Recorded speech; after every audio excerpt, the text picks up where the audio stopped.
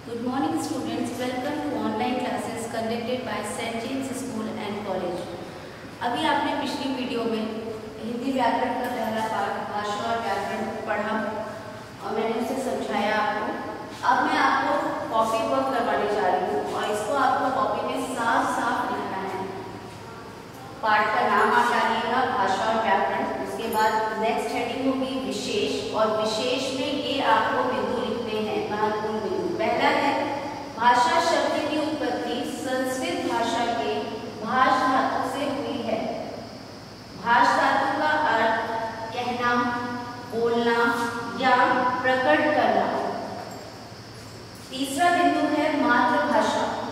वह भाषा जिसे बच्चा अपनी माँ तथा परिवार द्वारा सीखता है, उसे मातृभाषा कहते हैं। आप सबको तीनों बिंदु समझ में आए? ये आपको अपनी कॉपी में करना है।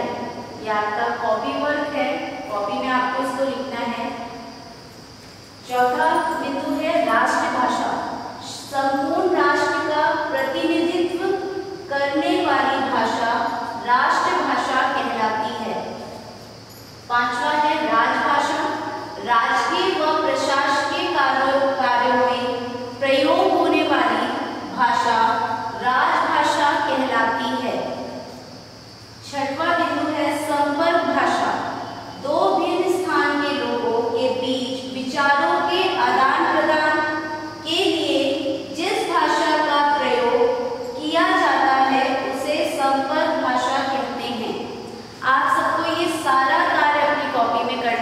और इससे पहले जो भी मैंने आपको ब्लैक बोर्ड